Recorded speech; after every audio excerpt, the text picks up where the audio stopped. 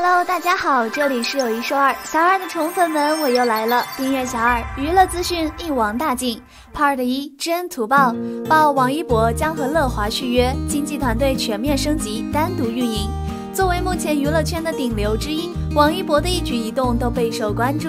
从接连不断的行程来看，在资源方面是不用担心的。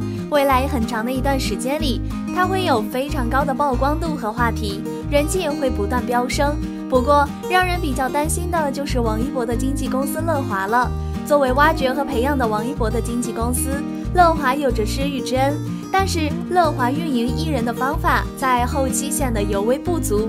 先火带后火的做法，并不是让人气明星的粉丝非常满意，再加上要利用人气明星带后辈，却在本身反黑等事情上处理不够，就会招来粉丝的怨愤。大家都期待艺人本人能获得更加完备的运营，这样才能在娱乐圈走得更远，所以都很期待能和这么一家不怎么让人满意的公司分离。王一博的一些粉丝自然也是这样想的。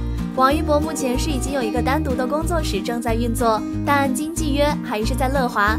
可以看到王一博的一些活动，乐华的老板杜华都是跟在身边的，具体用意不知。但值得注意的是，距离王一博和乐华合约到期的时间越来越近了。最为炙手可热的艺人之一，乐华大概率应该是想把他留下的。最近有消息传出，王一博将会和乐华续约，现在的工作室也会分离出来，经纪人只负责他一个人，因为现在他的经纪人是和其他艺人共享的，无法专注，所以续约的话会有一个更加专注于王一博的团队。想来王一博现在的咖位也配得上单独完整的运营，再加上乐华想留人，必然得有可以交换的条件。不可否认的是，乐华这个公司本身的确存在着问题。前段时间因为内讧公司大楼被人泼油漆、贴字条，无一不在证明着状况有些危险。不过，王一博是会挽救危机，还是被压榨就不好说了。毕竟现在想进乐华的年轻人很多，有才华、有能力的更是不在少数。王一博单独出来，能否获得更好的运营也是未知数。帕子二有匪开播至今，吐槽声不断，期待变嫌弃。要说今年最让人期待的戏，有匪绝对能算上其中一个。从一九年九月开机到今年四月份杀青，哪怕中间经历疫情休工，一年多的等待也没让大家的期待冷却。毕竟王一博加赵丽颖、鹅厂 S 加项目 Press 的原著，一看就是要爆的阵容啊！结果早上剧一播，我燃烧了一年的热情就这样熄灭了。无数次告诉自己再等等，可是等八集都看完了，还是让我觉得我期待了一年的剧就这就这。下面评论简直完美展现了我的心情，不能说难看，但也绝对称不上好看，只能说是平平无奇，有点无聊。原作讲了四十八寨大当家之女周翡下山历练，被卷入阴谋，和各路高手过招，最后以破雪刀之招，名震江湖的故事。有江湖义气，有魔力成长，有大格局，有小情爱。而改编成剧，明明也算贴合原著，明明节奏也很快，但不知为何，很多剧中紧张刺激的情节拍出来就变得索然无味。看了一下微博评论，有吐槽剧情无聊的，吐槽配音的，吐槽服化道的。吐槽特效的，吐槽演技造型的，吐槽什么的都有。仔细想想，《有匪》这部剧也算开创了新的一种风格。乍一看声势浩大，细细看来却是槽点满满。投资那么多，也就做到了烂的平均。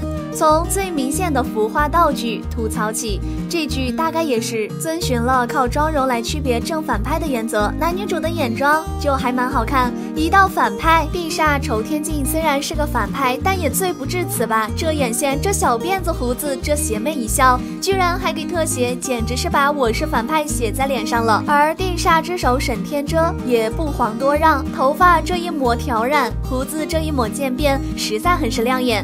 这个镜头，既然你们造型这么搭，在一起算了。地煞最后一人洪天养的造型也是一言难尽，只能说是和仇天镜有异曲同工之妙。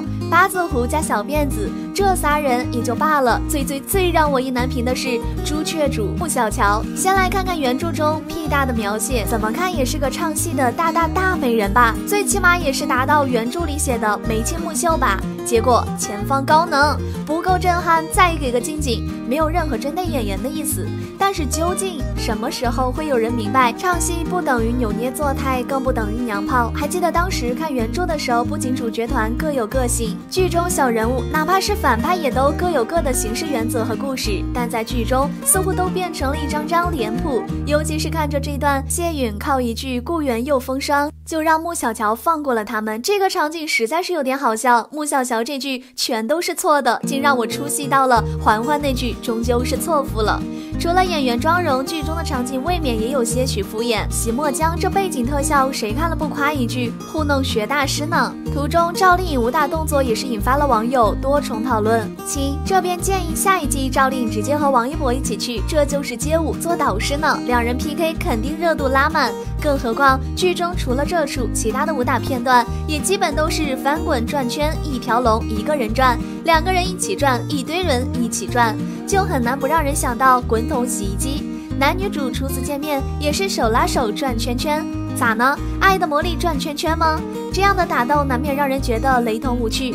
其他的对打也是略显软绵无力，有一种两人只是拿武器比划几下的感觉。远景一拉，发现两人又在转圈圈。周翡的破血刀，当时看原作时觉得描写的又厉害，又结合了阿翡成长的心境，几重境界层层的突破都很深刻。结果到剧中一看，说实话，我觉得我都能上去比划几下，只能寄希望于说此时阿翡的刀法还没练成了。而开头本来很是惊险的夜闯洗墨江，好嘛，直接拍成了站着聊天。毕竟是一部武侠剧啊，打斗都没有应有的水平，怎么可能拍出原著中紧张刺激的感觉呢？靠主角配角几句打嘴仗吗？剧中糊弄观众的场景比比皆是，现在业内抠图都已经是个公开的秘密，但能不能抠得走心一点？王大陆或成最大预言家，你看有匪里的抠图和这张图里的有半毛钱区别吗？看原作描写快意恩仇的少年江湖，每个人都是鲜衣怒马、意气风发的少年人。阿匪开头因为谢允救了他而放走他，看李胜证明自己负气出走，只会觉得是少年心性敢爱敢恨。但是这些事换在两个成年人身上，通敌私自放人，不打招呼就半夜离去，很容易就变成了不顾全大局和不懂事谈麻烦，实在不是什么会让人爱上的行为，没有营造出原作所描绘的让人向往的江湖世界，可能才是造成剧和书割裂的原因所在。所谓的尊重原著，不仅是大致剧情走向，有的时候可能更是剧中对角色的塑造、整个世界观的描绘，而不是偶尔把书中的金。句还原。